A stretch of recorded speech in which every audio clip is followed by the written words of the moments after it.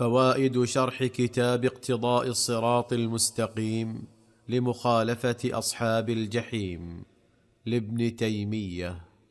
والظلم ينقسم إلى ثلاثة أقسام ظلم الشرك وهو ما بين العبد وبين ربه, ربه بالشرك وظلم الناس وهو التعدي عليهم وظلم النفس وذلك بالمعاصي والذنوب التي لا تتعلق بالناس وإنما تتعلق بالنفس. فالإنسان فيه أنواع الظلم الثلاثة إما ظلم الشرك وإما ظلم الناس وإما ظلم النفس.